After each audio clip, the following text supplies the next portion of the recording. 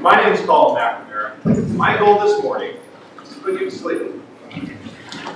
So, uh, I've been traveling the world this past past 10 days. Over the past 10 days, I've caught red eyes from starting in Austin, one of the most awesome places in the world, in my opinion.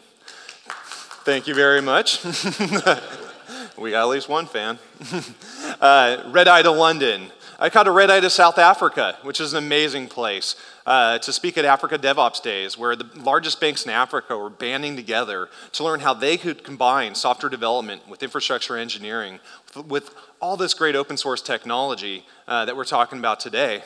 I caught another red eye back from Africa to London and then here to Berlin to have an opportunity to share my experiences and my learnings about the effects of sleep deprivation on my organizations with all of you, and also to learn from each and, each and every one of the experts that are here today. Now, if you pick up something in this statement that I made right now, there's almost a pride of staying up late at night. There's a pride of saying, hey, I caught this red eye. I stayed up till 3 a.m. to fix this bug. So I'll ask, how many of the people in this room in the past year have pulled an all-nighter, let's say past 10 o'clock at night, to get code out? What about the last six months? Okay, what about three months? What about the last week? Who has been up in the last week?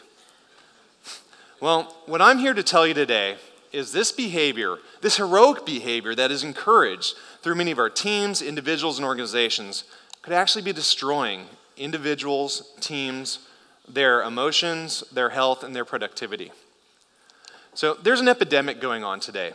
There's an epidemic of depression. There's an epidemic of feeling of disconnection from their communities, from their workplaces, from their families. Um, this epidemic is real. Um, in the DevOps, org- DevOps culture, we've seen this weird mashing of infrastructure engineering, systems, storage, networking. Um, in this side of the world, it has been a normal expectation to uh, stay up at 2 a.m. on a Sunday night, to, to do the work on the foundational elements that support our applications, to do the work when no one's using it. Now, what's interesting, as modern software development techniques with these advances in open source software, as these have combined and been applied with Agile 2 infrastructure to create DevOps, well, we didn't get, we, while we uh, thought and we created these uh, unique ideas of applying um, DevOps or applying Agile to infrastructure, what we didn't do is leave those habits of that midnight cutover behind we brought forward this habit and applied it into our day to day habits of software development. Now, this is good in some cases. You could say you, know, you get people working more. Um, but on the flip side, this has actually happened, this has actually caused suicides in our industry. Um, there's been an individual very prominent in our DevOps community, Carlo Flores. Um, last year, he experiences these challenges from overwork that created depression, that created a disconnection from himself, his community, and his friends. And tragically, his life was lost. So, what I want to do right now is tell you a story about a, a, challenge that happened in my own organization. Now, luckily, no lives were lost, but it did, however, affect our interpersonal communications. It did, however, affect our ability to deliver code on time. And it did, however, affect our ability to contribute to key open source projects. So, I'm going to tell you a little bit about the team.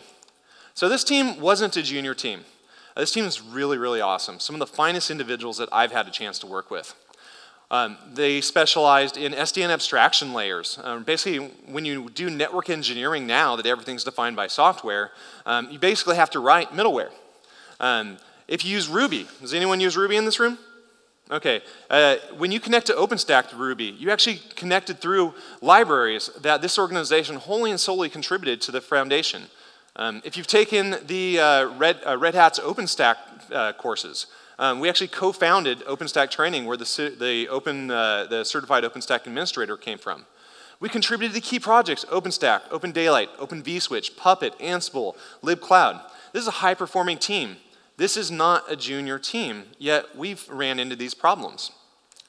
So in this specific case that I'll talk about, we were, we were writing some middleware, connecting uh, some SDN controllers, like uh, if you look at Open Daylight, NSX, Alcatel Lucent, connecting them to different forwarding planes in different, both open cloud and uh, closed enterprise virtualization platforms.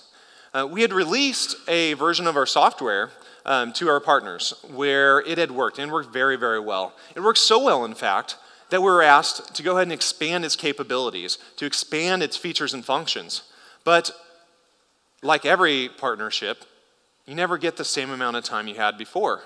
No, we were asked to accelerate our development and bring in, the, bring in a deadline.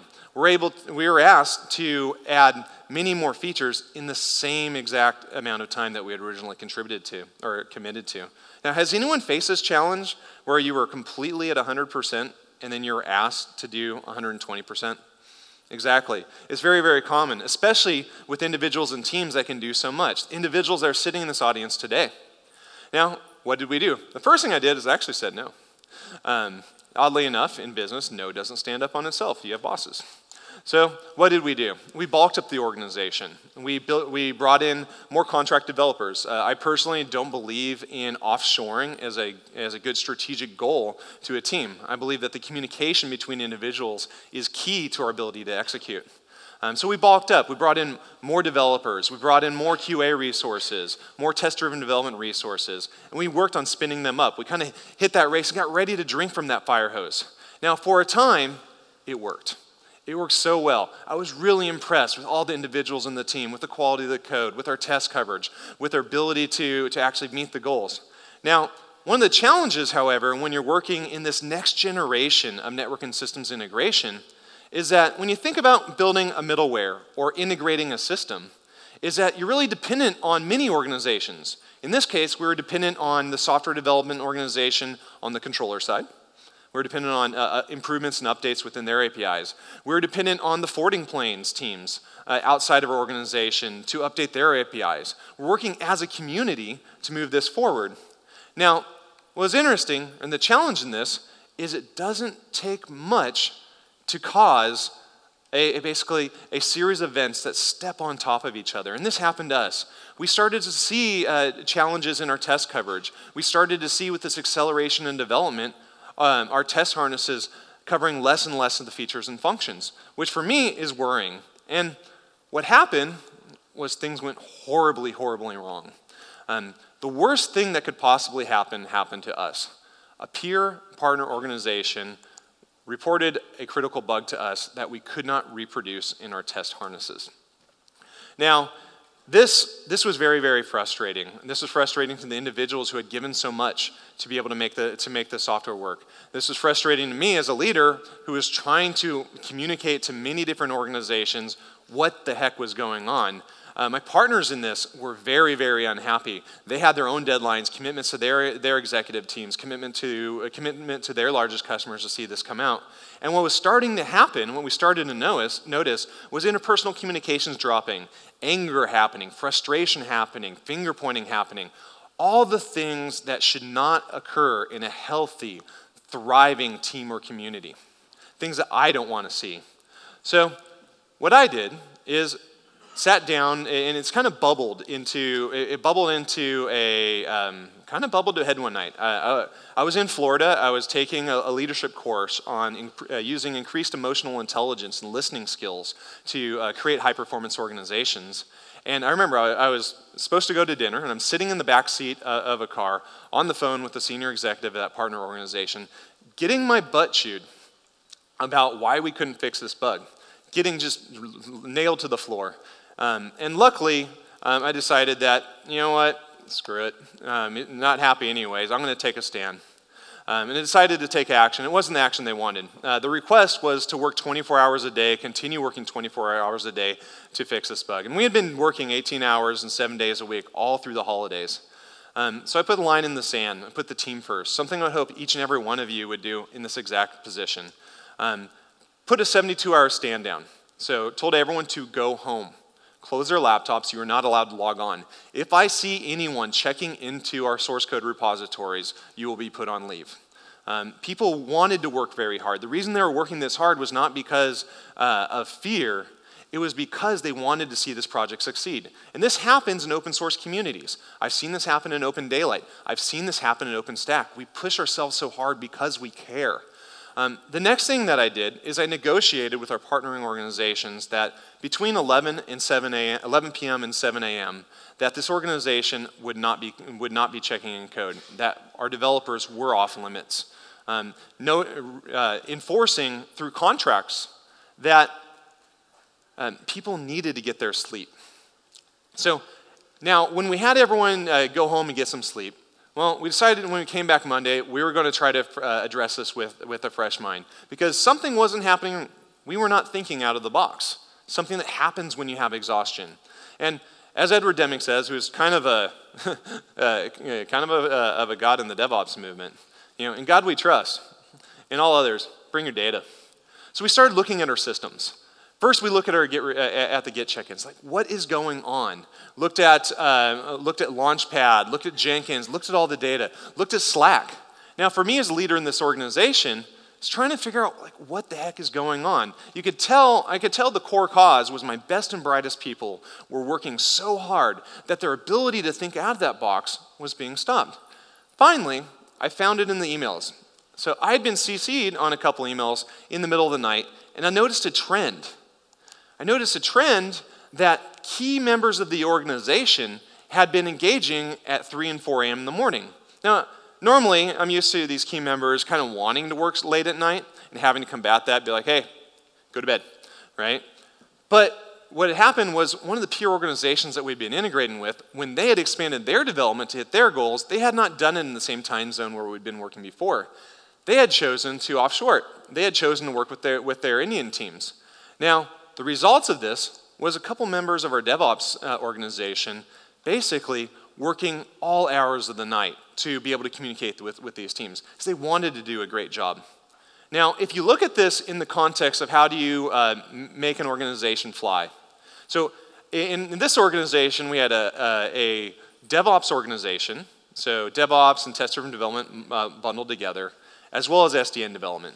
Now, they, know, they worked in the same buildings, they worked in the same, uh, in the same cities, they communicated in the same time zones.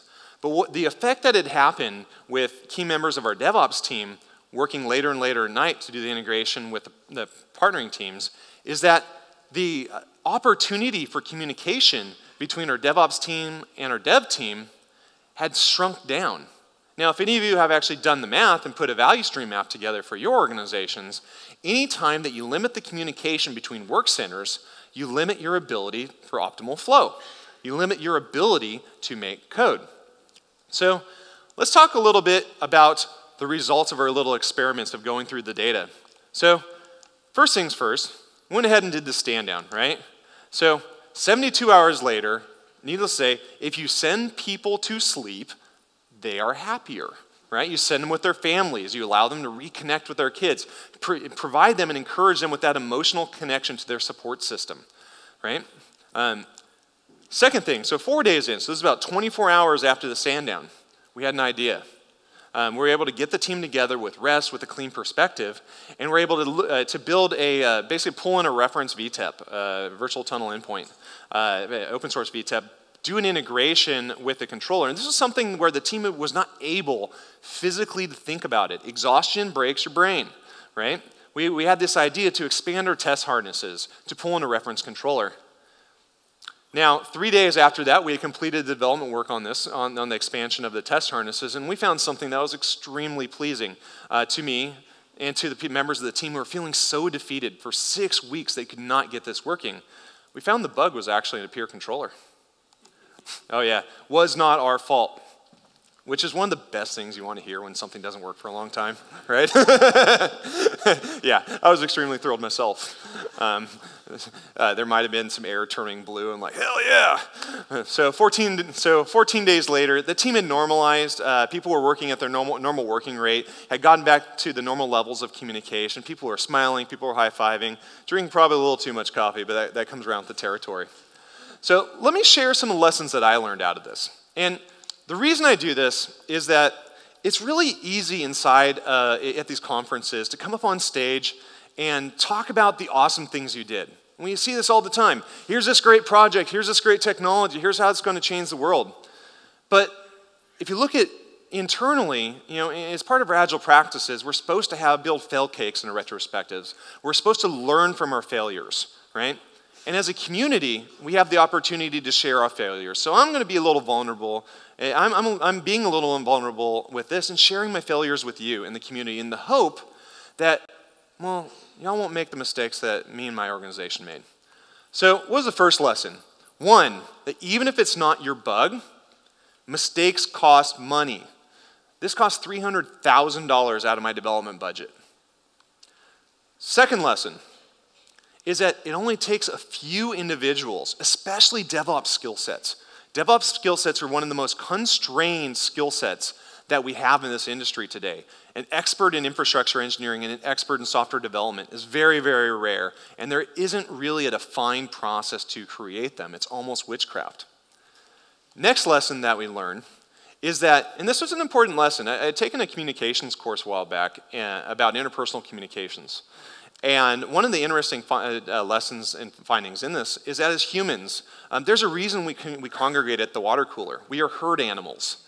And that for every one hard conversation that we have, for us to uh, feel that we have a positive connection, a good relationship with our peers, we actually have to have seven conversations that are normal. They're, hey, good morning, how you doing? How are your kids? How's the weather? Um, what's your favorite sports team doing? Right? These are really, really important to have. If we don't have these, if we're maybe we're working from home and only communicating with our teams via about bugs and faults, then we have a bad, we start to form a negative feeling about what, how people think about us.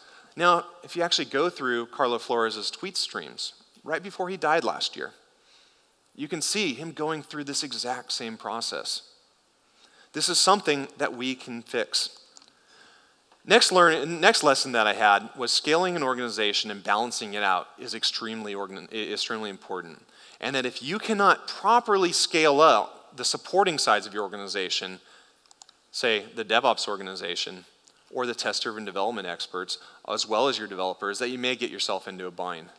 Um, this is something that is a big challenge right now. Our DevOps skill sets are incredibly depleted in this industry. Um, it's a small pool that everyone's grabbing from. And yes, it drives salaries up, and that's great for the individual.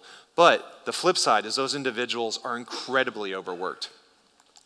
Um, the next lesson that I learned from this is that data is great. Um, the data was there in the systems, the data was there, but what I didn't have was both a process for checking on this, like one on ones, um, it wasn't incorporated then in my daily processes with my managers. Say, how many of your employees are, act, are working outside of work hours?